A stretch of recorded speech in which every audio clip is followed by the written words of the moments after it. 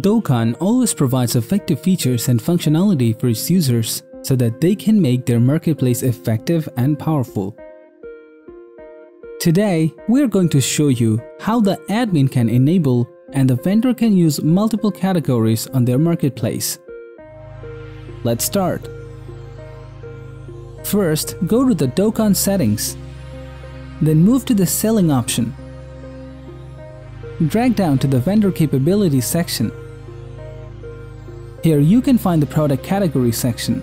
Select the multiple option and save the settings. Now if you want to add new categories for the vendor, you can create it from here. Vendors can also create it from the product page. Let's see how they can do it. Go to the product page. Choose any product. Here, you can see the categories option.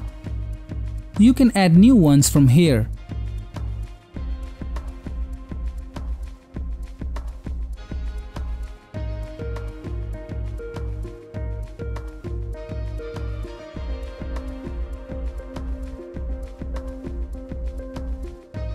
This is it.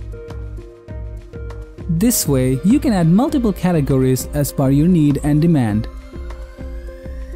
If you want to learn more tips and tricks about Dokan, subscribe to our newsletter, read our blogs, and follow us on our social pages.